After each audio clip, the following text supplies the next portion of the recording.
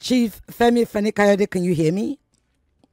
Yes, I can. Excellent, excellent. Well, I had given this big, you know, sort of introduction, and then the network, as usual, let us down. So, you, you know, and I I'm didn't so rehearse it. No, not at all, not at all. I didn't rehearse it. So, so, to say it again, I won't be as you know the same aplomb or whatever. It's but I kind of, thank you. Yes, but I must say Lagos.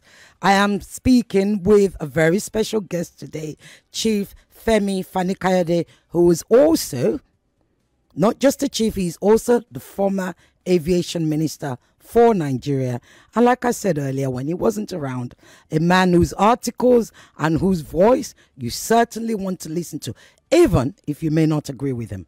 And this is the thing, okay? He's blunt, and that's what we like to do on Borderlines. Because today we're going to be dealing with some very, very, very, very deep subject. Anyway, can we get started? Certainly. Thank you very much. And my, thanks for having me. My pleasure. You're doing a great job on your show. Thank you so much. My pleasure. Thank you. Thank you for the compliment. So, on October 7th, I read your post on Instagram. On October 7th, you were very much bombastic and mm. clearly lambasted, not just the actions, not just the brutality, but actually Hamas. And as you've said consistently, you were always on the side of Israel. Israel, Israel, Israel. Then we roll on a few weeks later and you write your first article on the 5th of November where you actually address Israel directly. I'm going to read out excerpts of that, but I want you to tell us how you went from what changed from the 7th to the 5th or sorry, yeah, the the 1st the, the 5th of November. Well, thank you very much. And, and once again, I'm sorry that the show started a little bit late. I hope we'll be able to do this vast subject um, the justice that it deserves. It's something that's very dear to my heart, and I think you're doing a wonderful job. Thank you. Um, I've always believed that a true friend speaks truth to those that they love and those that they care for. And um, that truth may cause your friend or whoever it is to chart the right and proper course once they have been advised by those that um, they know and you know from the records uh, over the years has always been their friend, their supporter, and indeed their defender. We've all been brought up in many ways. Those of us that that that uh, definitely lived um, you know, edu- were educated abroad, for example, in the West, um, to support Israel. And of course, I am a Christian. I'm a, not just a Christian, a Pentecostal Christian, an evangelical Christian. And um, we are taught, as you probably know, um, you know, from birth about the importance of Israel and the vital role they will play in the end time and how important Israel is to God. So I've always believed that. I've always been, to, I've also attended Bible seminary. So you know how I must feel about Israel. Um, and that is why um, when Israel was attacked in a brutal fashion on October the 7th, um, the whole world, whether Christian, Muslim, whatever you are, everybody rose up and condemned this heinous action by Hamas, which is a group that I've always condemned, as I've condemned Islamist groups all over the world, including in Nigeria, uh, including other parts of the world. I think it's condemnable. I've never been a supporter of Hamas. I think Hamas is an evil organization. And certainly, Hamas um, is not a friend to humanity. That is my view, and that has always been my view. So what, what, when what happened on October the 7th happened, um, it didn't come as a surprise to many of us because that's the nature of these people. I'm talking about Hamas. Uh, but it happened and it was barbaric. We'd never seen anything like it. And every right thinking person in the world surely would condemn such barbarity. Now, one barbarity does not justify another. You ask me why I had to tell the ones I love the ones I've always believed in and defended the truth. A few weeks later, what we saw unfolding was this, and we were all angry when October 7th took place. We all said all sorts of things. Little did we know that Israel and those that are in charge of Israel didn't just say these things, they actually meant them and they were going to effect them. And what happened over the next few weeks? We witnessed it on television, live, as they say, where thousands of children, thousands of women, thousands of uh, buildings, thousands of infrastructures not of Hamas, because babies are not members of Hamas. Women, in the majority, are not members of Hamas. Innocent individuals, including health workers, including uh, World Health Organization workers, including school teachers, including hospital workers, ambulances targeted, hospitals targeted, slaughtered by Israeli bombs.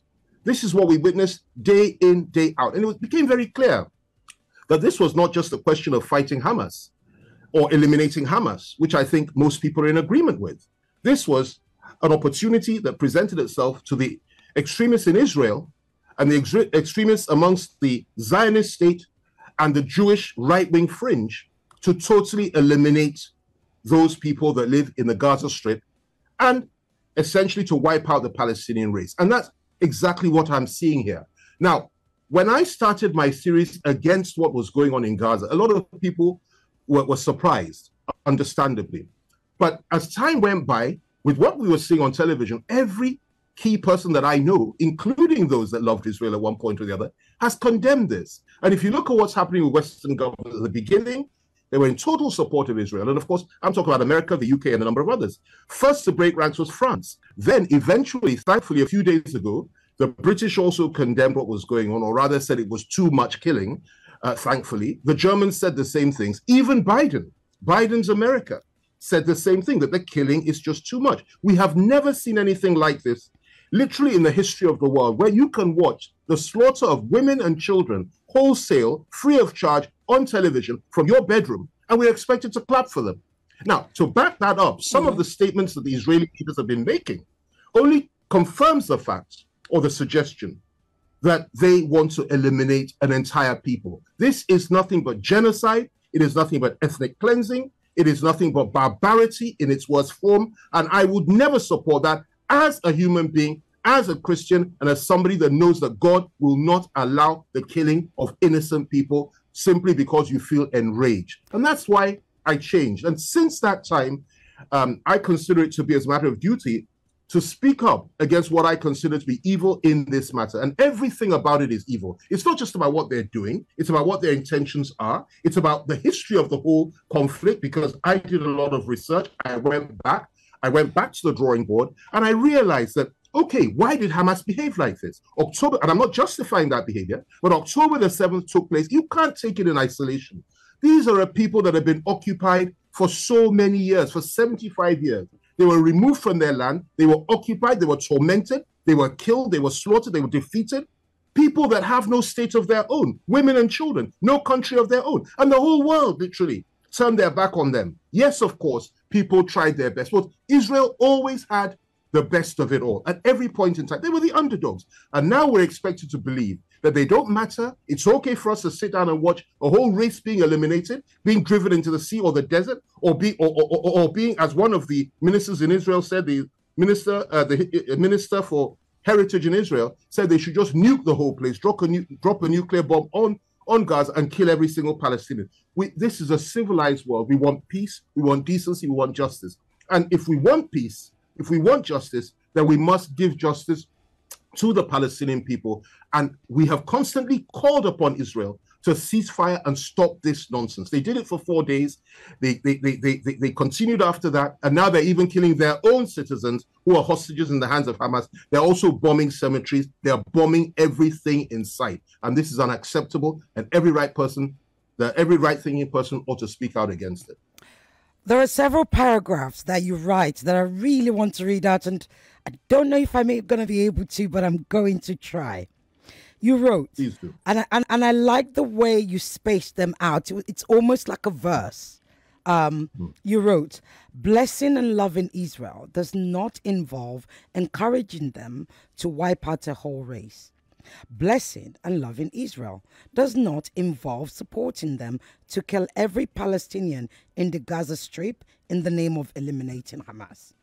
Blessing and loving Israel means encouraging them to fight their enemies and defend themselves in a dignified and civilized way by abiding by the, by the laws of war armed conflict by honoring the rules of engagement and by working within the structures and framework of international law whilst in the field of battle.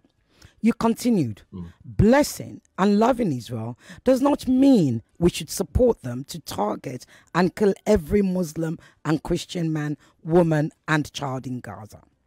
Blessing and loving Israel does not mean we should sit by silently and watch them turn into monsters that the German Nazis who murdered 6 million of their people in the gas chambers during World War II.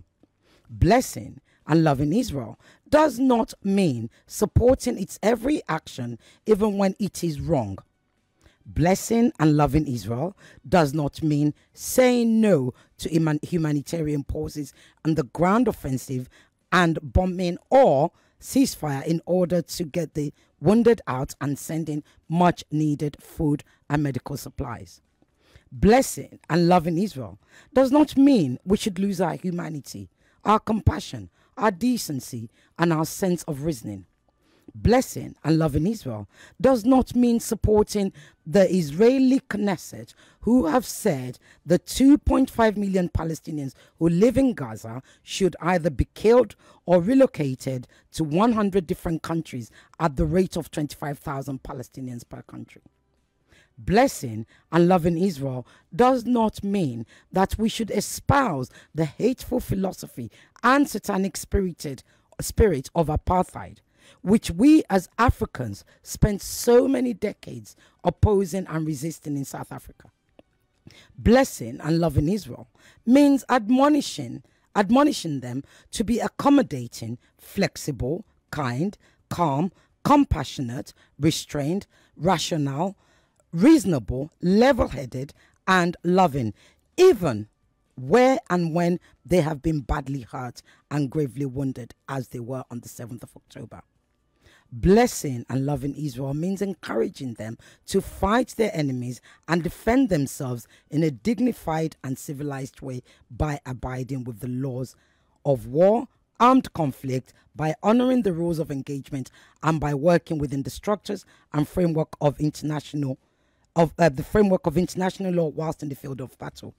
You end the blessings with blessing and loving Israel means encouraging the Jews and giving them hope and support in their time of need, reminding them to have faith in God and admonishing them to be righteous in all their ways.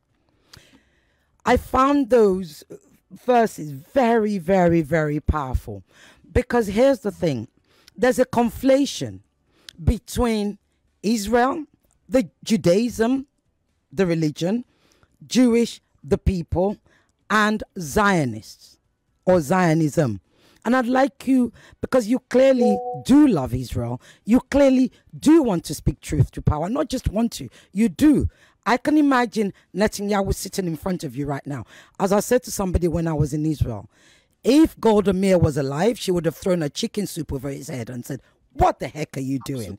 You know Absolutely. so so and that's what i hear from you. So talk to us about that conflation where you can love israel but resent what israel is doing. Okay. Thank you very much and thanks for quoting from from my article. I think it's it was titled the butchery in gaza which that's i wrote right. a few weeks back. Yes. And uh, i really appreciate that. I spoke from from the heart and um I, I am also interested in what you just said about me sitting if I'm in front of it and Netanyahu. you're absolutely right about Golda Meir. She was a wonderful lady. She had compassion, and she certainly would have told off people like Benjamin Netanyahu uh, uh, uh, and put them in their place. Interestingly, I've written a letter, which I'll quote from later, an open letter to the president of Israel. Um, you know, I think I finished it two days ago, and it'll be out sometime next week for the public, and I'll publish it. But going to your question now it's a very good question and interesting question. See, what's happening here is this.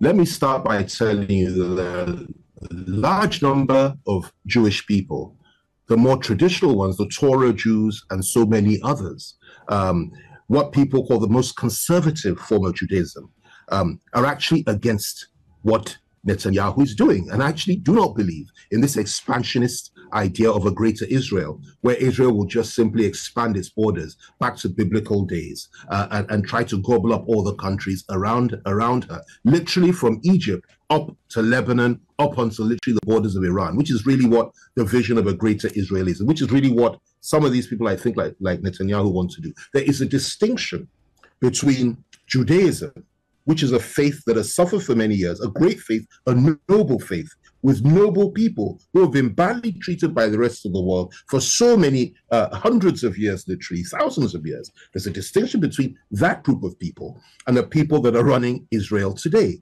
Zionism is a completely different thing to Judaism. Totally different. Zionism is a concept that came into being in the late 19th century. I, I believe the man's name was Hegel. I've forgotten his name. He created it. Herzl, that's it. He yeah. created absolutely. I wrote about it in one of my essays in yes, detail. But he, he he created it. He established it, and um, he he's the one that enunciated it. And what does it mean? Essentially, what Zionism means is this: that as far as they're concerned, the Jewish people are the master race, God's chosen people. Number one. Number two, they're entitled to have not just what they have today uh, as, as, as, as Israel, but literally all the countries around it to establish what was once the kingdom of Israel under King David, uh, under all the great kings of Israel, and even more than that. Okay. They also believe that they must use politics to enhance the philosophy and the belief of apartheid, the system of apartheid. That is to say, every single non Jew, every single non Israeli, every single person that is an Arab, that is a black person, that is not uh, that is not part of them, is not really fit to be treated in a humane and decent manner, and actually are somehow subhuman. Now, you would say to me, well, these people essentially are from that place. Well, listen, let me put this to you that 2,000 years ago, they were there. The Jews were there. There's no doubt about that. Now, for some reason, they were scattered all over the earth. They went away for 2,000 years. Other people were living in that area for that 2,000 years. Palestine came into being, it became a British colony later. But it came into being, and there were people there, Semitic people living there. 2,000 years later, you now come back simply because the world killed so, the Germany killed so many of you. The world treated you so badly. The West collectively felt there was a sense of guilt that they had to find your homeland, a homeland for you to go back to and to live there. Okay, to make you know to satisfy their own sense of conscience and decency, and also to make up for what uh, the Germans had done to you. They killed six million people, and millions of others were killed by non-Germans. Okay, throughout the century. So they they decided, look, we need to do something for these people. And what happens? Where do we put them? There was a very strong argument, and in fact, the gentleman you mentioned earlier, the first choice that they had was actually Uganda. That look, let's take them to Uganda. It almost came to that. Uganda in Africa. But ultimately, they said, no, let's take them to Israel where they have roots and they can reclaim the land. And they went there. And when they got there, imagine those that have been there for 2,000 years are now met with people who say, listen, we own this land. You have to get out of this land. We must dominate you. We must overcome you. We must subject you to our will. And we must keep you firmly under us in the name of Zionism because we are the master race. How do you expect the Palestinians and the Arabs to feel about that? Of course, they would resist it. But that's essentially what happened. And now, what happened? It was a legitimate aspiration to have a Jewish state. There's nothing wrong with that as long as they're prepared to live in peace with those who are already there and we're prepared to tolerate and accept everybody else, just as we expect the Arabs to tolerate them too. But what happens? Zionism will manifested itself in the hearts and minds of those that join parties like the Likud Party in Israel and also the right wing, extreme right wing Zionists. And they said, listen, we must take this land. Everybody below us, the Arabs and everybody else are below us, and we must subjugate them. And they entrench what is essentially an apartheid state in the Middle East, where the Israelis were the only ones that mattered, nobody else mattered. Now, let me tell you what is particularly disturbing about this, and I'm about to tell you something which uh, it's in my it's in my open letter. I, I, I spoke about it extensively there, but but it, it's really something a lot that's lost on a lot of people. Let me tell you this: when you say people are anti-Semitic, what people don't realize is the real Semites the Semitic people are the Arabs and the Palestinians that are living there, not the Jews. And look at the leadership of the Jews. Look at the leadership of Israel. Just study it. These people are essentially Europeans that came from Europe maybe a, a generation or two ago. They went back there and they're basically Europeans, all of them, from Netanyahu, Bibi Netanyahu, to every single one of them, even as going back as far back as Menachem Begin and all the rest of Ariel Sharon, they all have a root either in Eastern Europe, Western yeah. Europe, or elsewhere. So essentially, these people are European Jews, and they are the people that have come to take control of that area, subjugate everybody else, declare themselves as the master race in the name of their faith, and they're now pushing a political agenda to ensure that they are in full control. And of course, they have the full backing with unconditional backing of, of America and the majority of the countries in the West. That and the reason they're doing that, I will put it to you today, is because essentially they are the same people. Uh, the Americans, the Europeans, and the Jews that are leading Israel today are essentially Caucasians who have their roots in old Europe and who want to now have a, a seat of power in the Middle East to ensure that their will is done and to ensure that everybody else is subjugated and everybody else is held down. And that really is the problem. Now, let me tell you, if I were a Palestinian, I really don't think I'd sit at home and say, well, look, it's okay for you to kill our children. It's okay for you to kill our women. It's okay for you to subjugate us for 75 years and tell us that we don't exist and that we have no right and that we never existed and that we don't have any history. It's it's it's okay. I wouldn't say that. You wouldn't say that. If they killed, God forbid, our loved ones, you wouldn't say that. I wouldn't say that. These people have been subjected to the most horrible form of bondage and subjugation for many, many years. And it's time for the world to wake up, given what we're seeing now, to argue and stand for justice and fairness and a much more balanced approach to this whole matter. As we speak today, Israel feels they can do anything and get away with it. Then they're doing it with total and complete impunity. They're boasting about it. Now, if I may, if I don't, if you don't mind, can I just read a Go little ahead. portion of this open letter? Go ahead.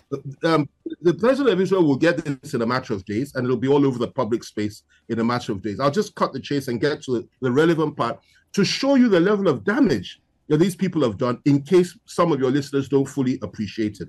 Now, I've, I've said I've started, but let me get to the paragraphs that are relevant. I said here, your killing spree, I'm talking to him now, Netanyahu. Your killing spree, genocidal binge, murderous disposition, blind rage, and unconscionable desire to wipe out, ethnically cleanse, and totally eliminate the entire Palestinian race has resulted in the mass murder of 26,000 innocent and defenseless Palestinians, which represents over 1% of the entire population of Gaza. 97 journalists, including Samir uh, uh, Abu Daqqa of Al Jazeera, and three Israeli hostages whilst they were shirtless, begging for help, and waving a white flag in Gaza, all in just two months. Of the 26,000 Palestinians that have been killed, 10,000 of them were children, and 6,400 of them were women. And no less than 20,000 were above the rubble, whilst over 6,000 6, of them remain below it. That's 20,000 above, 6,000 below. Outside of that 24,000, Palestine, outside of that, 24,000 Palestinian children have lost one or both parents in, is, in Israeli attacks, and 18,000 have been injured, with some in critical condition, while 60% of the people of Gaza are facing starvation. Of a truth, it is only those who do not have children that cannot feel the pain of the Palestinian people. 300 Palestinian health workers, 134 staffers of the United Nations, and a French foreign ministry official have been killed, and 1.9 million Gazans have been displaced. Hundreds of thousands of them are without food, clean water, and shelter, and 85% of them have been forced to, to leave their homes. I'm going on. Worse still, 288 Palestinians have been killed in the neighboring occupied bank, whilst 4,007 whilst 4,570 have been detained. Oh my God. Whilst 4,750 have been detained. Am I still with you? You're yes, I can hear you. Whilst yes. 570 have been detained there since October the 7th. In addition to this, 100,000 buildings have been destroyed in Gaza. Thousands of refugees have been bombed and butchered in its numerous refugee camps. And a Palestinian woman and her daughter were targeted and shot dead in a church by an Israeli sniper. The latter is a particularly despicable and heinous crime, which Pope Francis has described as an act of terrorism. 12,000 bombs. Can I go on? Yes, please go ahead. Can I go on? We have listeners yes, from abroad bombs. who are trying to call by Skype. Please go ahead. All right. 12,000 bombs and 40,000 tons of bombs have been dropped on Gaza, and half of all its buildings have been totally destroyed, whilst your Air Force says it struck at least 12,000 targets across the besieged Palestinian territory between October the 7th and November the 1st alone. Only God knows how high that number is today, making it one of the most intense bombing campaigns in recent history. I'm going on. As Christmas approaches, Bethlehem, birthplace of our Lord and Savior Jesus Christ, is under siege. And you have decided to sacrifice and forsake the remaining 130 hostages that are still with Hamas. All this led to Mustafa Barghouti, a former Minister of Information in the Palestinian Unity government and a member of the Palestinian Legislative Council, to say no human being in Palestine has any value to Israel, whether Muslim or Christian. The whole world knows how it treats Palestinians, how how it treats Palestinians and why it is killing journalists that are and why it is killing journalists that are reporting the truth. I, I'll stop here where I just ask one question and I'll say, can you dispute Mustafa's words? Now it goes on. It's a very four, it's a four thousand word um uh, uh, letter, and, and and and by I'm sure this week Sunday onwards it'll come out in the public realm. But you know, this this shows you just how serious the situation that we're in. And I think that it's incumbent upon each and every one of us to keep reminding others, keep, keep telling the world that these people are human beings. They're not animals. Now, I am talking about the Palestinian people. I'm talking about those both in Gaza and on the West Bank. If you say Hamas is your target, why are you killing women and children in the, the in, in Gaza?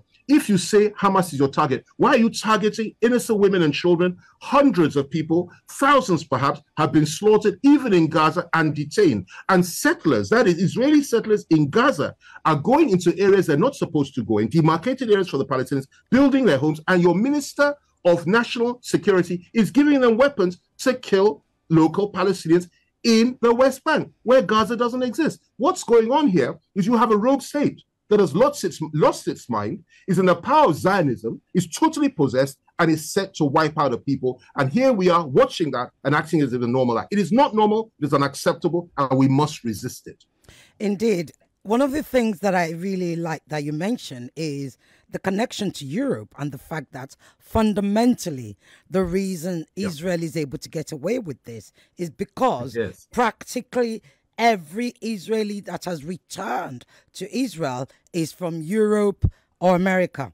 Absolutely. Incidentally, Absolutely. you got. Yeah, I, I want us to talk about the colonialism. What most people also don't realize is that it was Europe who began anti Semitic actions. It was Europe who expelled and ethnic cleansed the Jews from Europe. Absolutely. That's what triggered the you know the, the birth of Zionism. And all of that Absolutely. happened prior to 1917. Yep. And I'm going to put this to you.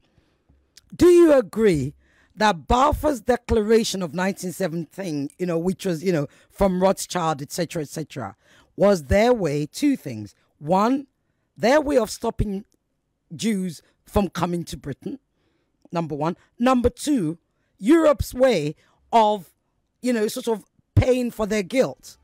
What are your thoughts? Yeah, absolutely. The, the, the first, you're absolutely right. They, they, they wanted the Jews out. They'd been slaughtered, and, and not just Europe, the, the Russians. I mean, honestly, they really went through hell. And, you know, some say, well, it's as a consequence of the judgments they brought upon themselves after the killing of our Lord and Savior Jesus Christ, where they said that, you know, that let this, let the sins, let the curse be upon us and our children. But, you know, if you look at the history of the Jews, it really is tragic what has happened to them. And, but they were subjected to more tyranny and subjugation and wickedness by the Europeans than any other race on earth. I mean, the Europeans, you know, were, were they killed them like flies. And, and you know, the funny thing, most of Europe actually had no problem with what Adolf Hitler was doing to the Jews. In fact, there was a very strong argument in the UK to actually support Adolf Hitler during the Second World War and not get involved in the war at all. The same with America. There was a strong body of opinion that believed that.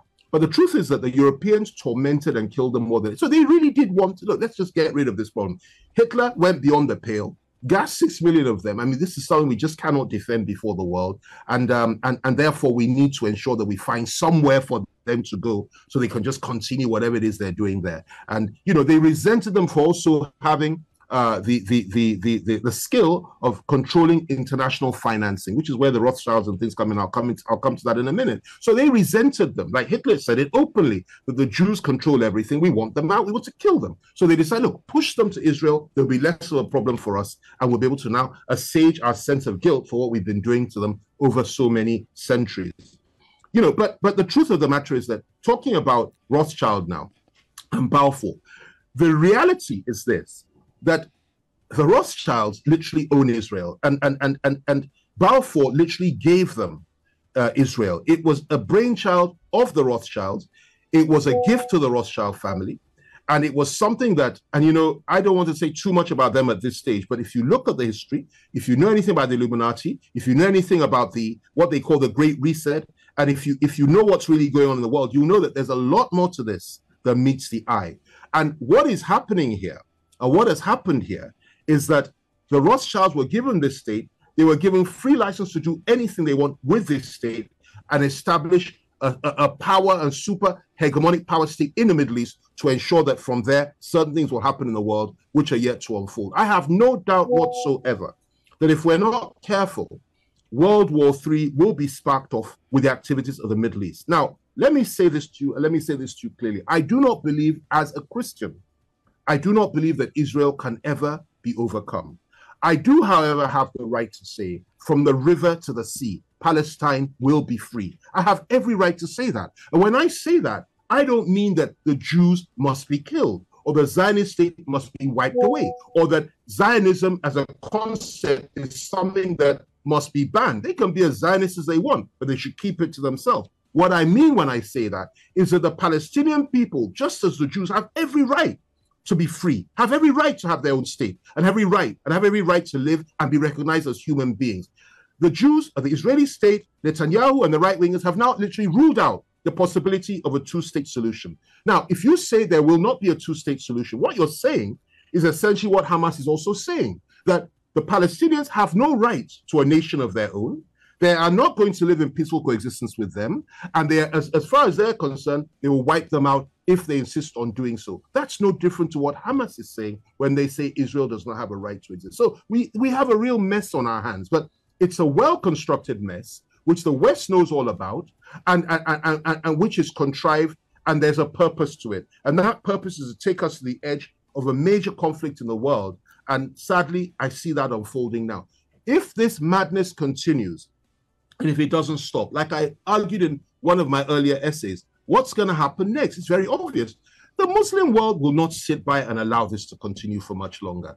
You don't expect Egypt, even if the leadership wanted it to continue and wanted to keep the peace. The followership in Egypt will not accept it. The followership in the Arab Gulf states will not accept it. The followership in Iran will not accept it. The followership in, in, in Turkey, particularly Turkey, will not accept it. The followership in places like Yemen, and they will not accept it. And eventually, what will happen is that they will all come together with a clear plan and purpose to say, we are going to attempt to wipe Israel off the face of the earth. And you must also remember that the Russians the Russians are solidly with the Iranians. New alliances will be formed. Turkey is the most has the second largest army in NATO and it's an exceptionally uh, powerful army. And apart from that, Turkey doesn't have nuclear weapons. Israel does, but they have made a pledge Pakistan has made a pledge that if Israel uses nuclear weapons against Turkey or any other Muslim country, they will step in and use nuclear weapons against Israel. So you see what's unfolding here. Hezbollah is exceptionally powerful, you know, and you have the Mahdi army in Iraq. You have people that have this passion to fight for their rights as Muslims, as Muslims all over the Middle East. And if I were a Muslim, I would feel exceptionally passionate about this. But I'm not. I'm a Christian. And therefore, I have compassion and I have decency. And I believe that even where your friend, the Jews that we were taught to love and we are taught to support, even though they hate most of us and they're killing our own people too. When they go wrong, we are the first to speak out and say no. I know the history. I know what happened in Lebanon. I know what happened in the in, in, in the refugee camps of, of Sabra and Shatila when the Christian phalange of the Lebanese killed hundreds of thousands of innocent uh, Muslim refugee uh, refugees in, in, in those two refugee sites. And I know that Israel backed it. All sides have committed atrocities. The Jews have done it, the Christians have done it, the Muslims have done it. But it's a time to stop these atrocities, for all of us to come together in peace, recognize that we have the right to exist, love one another, understand one another, and work together for an expected end, for a better world. That's my position and will always be we're about to go on a break, but I'm going to throw this at you. And when you come back, I want you to expatiate on it for us. Like you've rightly said, you know, I, I think, in fact, what I should say is for a long time, Israel, namely Benjamin Netanyahu, has been pushing and sort of, you know, prodding America to go against Iran, wanting them to confront each other. Israel, right now, is losing the war or is or is Israel not losing the war? I'd like you to talk to us about that. And number one, number two is America, the US, Biden, Blinken, and the rest of the gang, they are increasingly more and more isolated. yes. on the wrong side of history, as some would say. So we're going to go on a quick break. When we come back, I'd like you to expatiate on that for us, please. Right. We'll be Thanks right so back. Much. Just a few okay. seconds. Okay.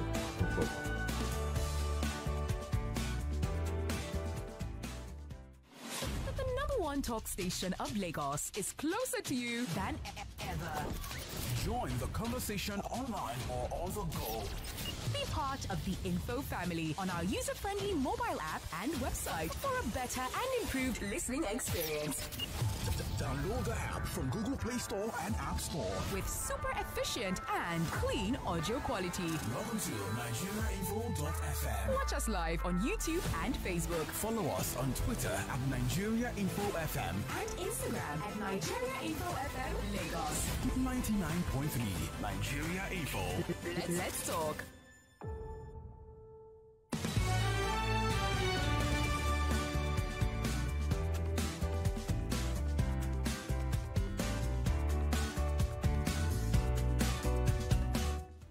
Welcome back, Lagos, Nigeria. We are still on borderlines. And my guest, Chief Femi. Look, if you haven't been listening, I can't help you. You just have to just stay close. I mean, this is deep. This is as educative as you want. And you people better not be asking me silly questions after this because if you're not listening, you're on your own. Sir, go ahead. Um, I don't want to waste your time. What I said earlier before we went on break. Oh, you're muted. I, is he muted? Don't know you're not. Go ahead. No, I'm, I'm, i think that was our side. Yeah. Could yes. you just quickly repeat the first the first stanza of that? You asked me about whether Israel there'll be a is, war. Yeah, is yeah. Israel losing this war or is Israel winning the war? I mean, Israel would say we've killed seven thousand Hamas no, no. operatives, but we know there's over forty thousand. Okay. No, look, look. How do you assess whether or not they're winning or, or losing the war? Number one, they have not achieved their strategic objectives even their even their tactical objectives have not been achieved, which is to eliminate Hamas. If they themselves are saying they've only killed seven or eight thousand members of Hamas, and they themselves said there are thirty thousand uh, uh, foot soldiers in Hamas, they've only killed seven thousand, assuming they're even telling us the truth. Okay, and that means they have they are nowhere near achieving their objectives. Secondly, what have they managed to do? Go to Europe, go to America, go to the Western world, go all over the world. You have hundreds of thousands, in some cases millions, of people. Not I'm not talking about the Arab world or the Muslim world. I'm talking about the Western world and in Africa and places like that. You have millions of people marching the streets wearing the colors of the Palestinian flag, calling and chanting for freedom for Palestine. This has never happened before. It's never happened. And what's happening now is that the people in these countries, that is the ordinary people that have a very keen sense of justice, are saying enough is enough with this barbarity and have changed sides and are supporting the cause of Palestinian liberation, something that they would never have done 10, 20, 30 years ago, unheard of at that time. It's a new generation. And, and in the same way that my generation fought against uh, apartheid, uh, in, in, in, in apartheid, white minority rule South Africa, is what is happening today throughout the world. The younger people are fighting against, are speaking and protesting against the subjugation of the Palestinian people. And what is going on now is that Western governors are beginning to understand that if we're not careful, we will lose elections based on this issue alone. So the Israeli lobby in the West has weakened. It, it has weakened considerably, and the push for unconditional support for Israel, no matter what they do, even if they killed millions of innocent people, um, you know, is, is beginning to now regress, and they're thinking twice about it. So they have lost in the sense that they have lost support.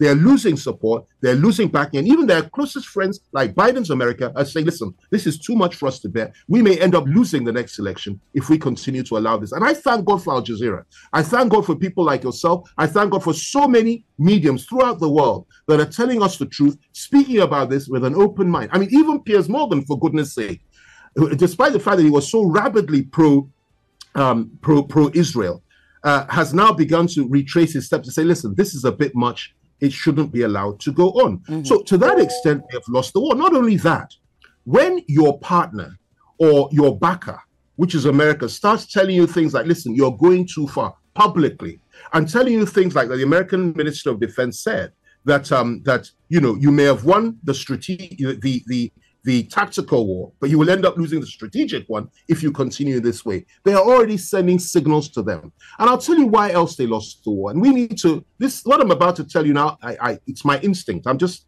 just saying this Please and I believe ahead. it to be true. Mm-hmm. How do you think, for goodness sake, Hamas managed to penetrate what the Israelis and Jews call the Iron Dome? Could it have been by their own technology and knowledge? I doubt it very much. I suspect strongly that one of the world's one of the world's two or three superpowers, I won't I won't mention which country that I believe it was, gave them the technology to avoid that. Now, what does that tell you? That tells you that the Palestinian people are no longer alone. We know that Iran is with them. We know that Russia is with them. We know that Turkey is with them. We know that um, uh, uh, China has has encouraged them to stand firm. We know, and these are the world's emerging powers. We know that Brazil is with them. We know that South Africa is with them. We know that these countries are with them. Now, when you're talking about winning or losing, it's no longer a case that it's a unipolar world where the Americans tell everybody to go and jump in a lagoon you have to jump in a lagoon. There is a new axis now, an unwinding one, a beautiful one, in my view, that has made the world a much more serious place where the Americans can't just, through their allies or through their acolytes, kick everybody around. And these guys are firmly on the side of Palestinian liberation. I'm not saying they're on the side of Hamas, but certainly they believe in freedom for the Palestinian people. So the Israelis have failed to appreciate just how serious the situation they're in. They're in a no-win situation. They've killed too many people. There's too much blood in their hands. People have condemned them, and until they stop and effect a ceasefire and withdraw and stop killing innocent civilians, they will lose the war more and more each day until it comes to an end. And most importantly, they have engendered a situation where foreign powers are now gathering and speaking and saying, listen,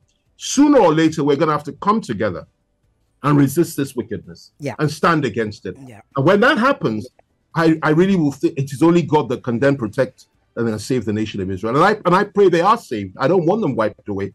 I believe that they have the right to exist, but I believe that this is not the way to ensure that uh, you, you you sustain that right or- Gosh. or, or validate that. How I wished we had more time. Oh gosh, this is so So, unfair. you know, you had a second part to that question. If I could quickly yes, on that. yes, but I, I also want your thoughts on Okay. on on the sort of mm, if I could call it, and, and I'm trying to think of a nice word, but this is what keeps coming to me. The seeming impotence of African countries, right, with regards to this genocide. And why? The quietness. Okay, you know, we've had South Africa. Um, I think we've got the Algerians condemn it, and you know the Egyptian. But but Yeah.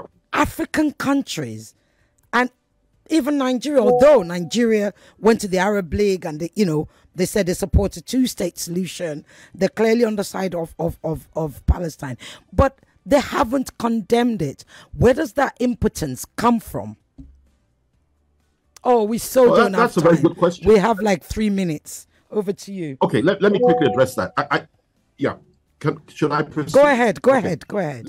Let me address that. I mean, I, I think it's um it's, it's probably a failing of us all as a people um, that we cannot stand on the side of truth. After all, others stood with us in our time of need, and I think it's a tragedy of monumental proportions that our country, for example, did not condemn number one the killing of of, of, of Jews on October the seventh. They didn't say a word. They just said there should be restraint on both sides, and they did not condemn what I consider to be genocide. In fact, the world considers to be genocide in uh, uh, Gaza today. And I think it's about time that we, this, we you know, we, we took a stand on these issues. Nigeria, for example, should not be led by South Africa in matters of honesty and matters of justice. We should be the leader. We should take the lead in Black Africa, not South Africa. And we have failed in that respect, I have to say. We need a virile, strong foreign policy. We don't need to be intimidated by the Americans. I've never, never been one that supports American imperialism or American or American hegemony. I've always supported the Russians, for example. I'm well known for that. Um, you know, I, I understand world politics very, very well, and I have no fear whatsoever about the implications of that. Our country is a big country, 200 million people. We have Muslims in this country, 50% of the population, Christians, the other 50%. And we should be able to come together and say with one voice that when Christians and Muslims are being slaughtered anywhere in the world, by Jews or by Zionists, we as a country should be able to stand up and say, we will not accept this. Now, of course, the Americans will tell us, please take it easy, and so will the Brits. But we don't have that affinity with Israel the way in which these people do. We don't have that history with Israel. We are independent thinkers, we are highly educated people, and we ought to do more and ought to do better. Most African countries do not have the wherewithal, the strength, or the courage of the Nigerian. But we have it. And therefore, when we don't express it in foreign policy, there is absolutely no excuse for it. And I've done all I can. I, I, I you know, I, have spoken to a number of people within this administration, an administration that I support and I help to put in power. And I'm very proud of this uh, uh, uh, Bola Tinubu administration. We are working day and night to encourage our president and our government to do the right thing and stand on the right side of history and ensure that we stand up against those that are committing genocide, ethnic cleansing, and mass murder. And by God's grace, we will do that and play our role in international affairs and the world stage on this issue. Chief Femi Fani Kayode, I'm going to try and pronounce this now. The Sadok, the Sadwa King Shinkafi, Sadao Shinkafi. yes. Of of where? So the Sadao Shinkafi is of where? Shinkafi is a beautiful ancient town okay. in, uh, in Zamfara state, which Excellent. is part of the Sokoto Caliphate. Yeah. Okay, and the former Minister of Aviation and former Minister of Culture tourism in Nigeria. I still have to have you back. Good God, we could have spoken for a whole hour. And it's still, I mean, Absolutely. two hours, it still wouldn't be long enough. So thank you so, so very much. Thank you. Thank you, so thank you for giving up your you, time, for sharing your knowledge, for sharing your my thoughts pleasure. with us. All the best, sir. My pleasure. You're most welcome, and thanks for having me. Look forward to the letter on Sunday. I an will. Open letter to be. And then you'll okay? come back to talk about it. Sure, definitely. Thanks, eh? Thank All you, the sir. best. Merry Christmas. Bye bye.